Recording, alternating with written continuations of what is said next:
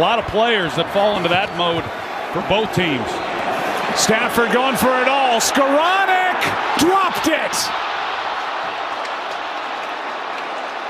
Jimmy Ward was back there, had no idea where the ball was, and Skowronek just missed his chance for a touchdown. Well, Stafford had whoever he wanted. He could have come out to Kupp. Instead, he's got the home run shot to Skowronek. Jimmy Ward didn't know where the ball was being thrown. He was nowhere there.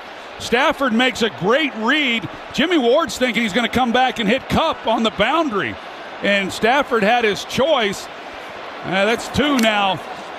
Here's Kupp in the middle. He's coming out to the to the